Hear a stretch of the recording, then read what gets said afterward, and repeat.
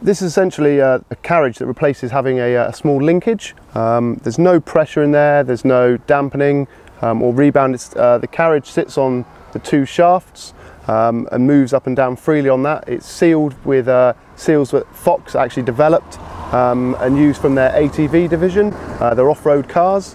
And the idea here is uh, Yeti can control the, the rear wheel axle path um, as it moves for its travel.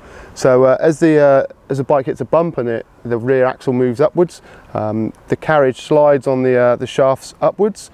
Uh, it then meets uh, an inflection point, um, and the carriage then moves back down the other way, back towards the bottom bracket. Uh, and this means that the bike can climb really well, really bite on the climbs, but as it reaches the end of its travel, uh, it gives a real bottomless feel as that carriage moves the other way. Um, and that's really, really it. So uh, it's all sealed with, uh, with high-end seals developed by Fox, backed by a long, long warranty. Um, so yeah, that's Yeti's Switch Infinity.